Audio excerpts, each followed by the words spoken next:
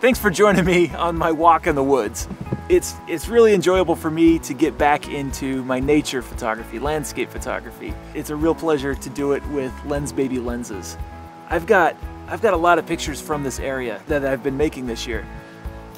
But the times when I slow down a little bit and make a more contemplative photograph using a more creative lens like the, the Lensbaby lineup has given me, those are the days I remember more. Those are, those are the pictures when I can say, oh yeah, that day, that's the one where I stood in the stream and, and made that little waterfall picture. And then I remember also that the picture got better when I raised up the camera or it got better when I slowed down the shutter speed.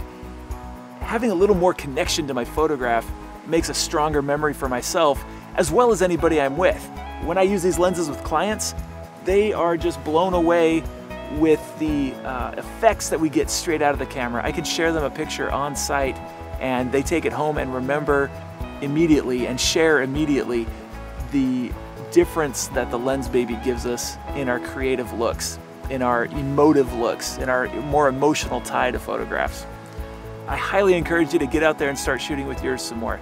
Practice those focus techniques. Focus your diopter, use your live view, use your focus peaking. Be sure to bracket the focus too so that you, you get the right focus spot.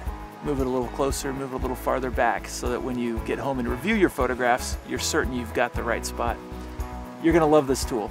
All the tools from, from Lensbaby are going to help you make more creative photographs.